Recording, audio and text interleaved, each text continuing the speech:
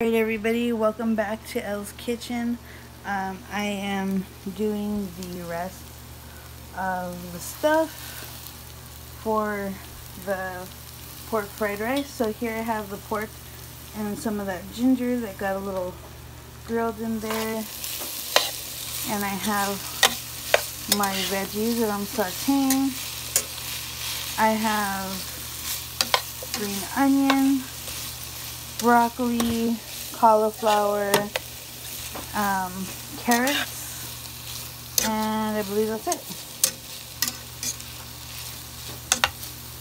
And then I saute, I'm sauteing them in the pork juices that was left over and just a tiny bit of canola oil so that they don't dry out. And then I have my pan over there um, getting hot for me so I can put so I can cook the eggs.